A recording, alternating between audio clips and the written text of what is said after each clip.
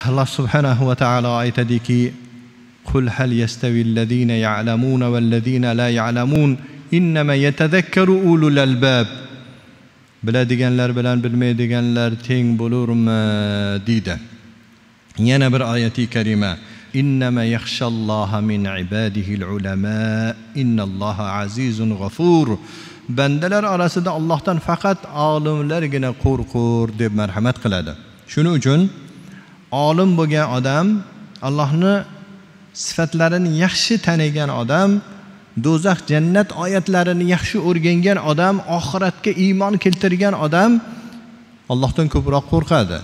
Shu bilan birgalikda olim bo'lish kerak Allohdan qo'rqish kerak. Chunki alloh taolo bandalarining orasida Allohdan faqat olimlar qo'rqadi degan. E, buyuk sahobalardan ibn masud roziyallohu anhu aytadilar ilmni ko'p rivoyat qilishlik olimlik emas Allohdan ko'p qo'rqishlik olimlikdir deganlar. Malik ibn anas roziyallohu anhu aytadilar ilm ko'p rivoyat qilishda emas albatta ilm Alloh qalbga solgan bir nurdur ya'ni ilmi ladun. Kim Allohdan taqvo qilsa unga Allohu taolo ilmi ladun berib qo'yadi.